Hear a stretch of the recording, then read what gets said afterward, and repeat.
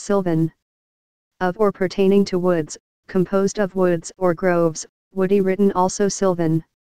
Betwixt two rows of rocks, a sylvan scene appears above, and groves forever green. Dryden.